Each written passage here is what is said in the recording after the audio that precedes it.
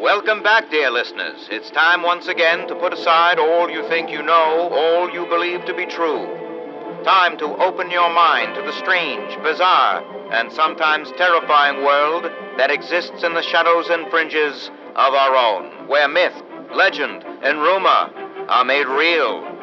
Yes, it's time for more thrilling tales from the West Virginia hills. Tonight's episode, The Beast of Grafton, is brought to you by Dandy Boy Apples. Apples so good they never go bad. And remember, an apple a day keeps the doctor away. That's Dandy Boy Apples. Fresh, delicious, and dandy every time. Pick up a box today. Our tale begins in the rural hills near Grafton, where locals have reported a strange creature lurking in the woods. Robbie Cockrell and Peggy Mansfield were out on a date, celebrating Peggy's birthday. A full moon loomed large as they drove. Robbie, you're going too fast. Don't worry, this nuclear roadster handles like a dream. Where are you taking me anyway? I told you, it's a birthday surprise. Way out here in the woods? There's nothing this far out of Grafton except that hospital by the river. Wait, I bet we're going to that new drive in over in Clarksburg, right? Just so you can show off your slick new hot rod. Ah, come on. Don't be like that, Peggy. I just thought the driving would be romantic. Oh, Robbie. Robbie, look out!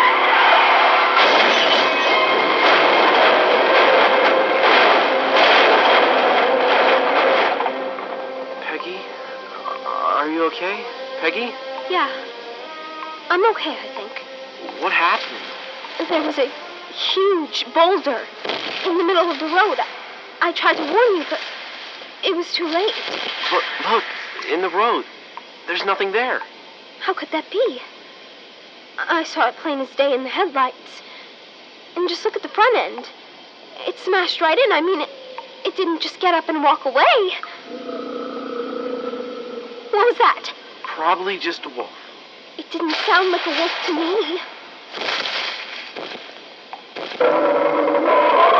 There it is again. Whatever it is, it sounds like it's coming this way. Look, those lights by the river. That must be the hospital. We can get help there. Come on. Ow!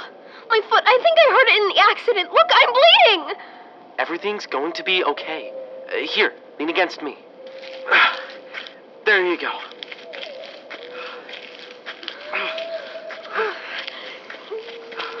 See? You're doing great. Just like when we won that three legged race in the park. We're almost to the hospital. Oh no. There it is. I see it. Coming out of the woods. It's bigger than a bear. And look, it has no head. It's just flesh and muscle and claws. Robbie, it wasn't a boulder we hit. It was that thing. It's okay. We're here. We made it. Door's locked. Hello? Anyone in there? Help us!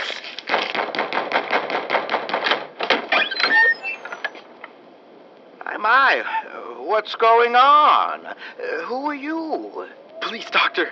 There's been an accident. My girlfriend's injured. There's something after us. A monster in the woods. Oh, a monster, you say? I know. It sounds crazy, but I hit it with my car and. Ah, I see. Uh, it's just you two? Yes, it's just us.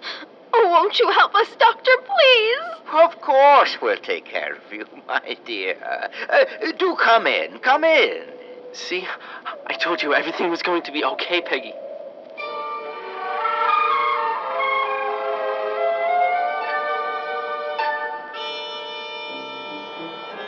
Doctor, are you going to call the police about the thing outside? Well, all in good time, son. First, let's have a look at the girl's foot. Lie down on this table, dear. Is it bad, Doctor? Nothing we can't fix right up.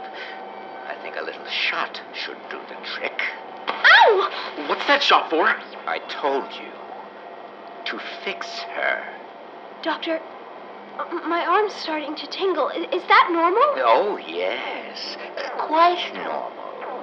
Ow! It's really burning now. Hold still, my dear. Hey, why are you strapping her down like that? Just following procedure. In the hallway! It's the monster! Actually, that's an entirely different subject.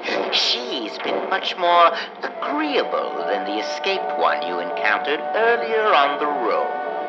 These monsters are, are yours? Why, of course, though monster is a gross mischaracterization of the extraordinary advancements in evolution we've achieved here. My whole body's burning! Evolution? I, don't understand. Oh, you will, my boy. you both will. Who are those men with guns? What is this place? Hey, let go of me! Ah! What's happening?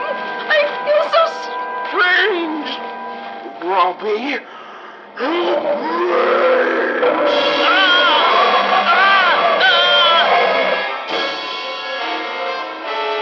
Tonight's gruesome tale taught us several things.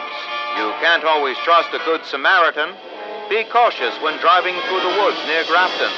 And birthday wishes don't always come true. Be sure to tune in next week for another thrilling chapter of Tales from the West Virginia Hills.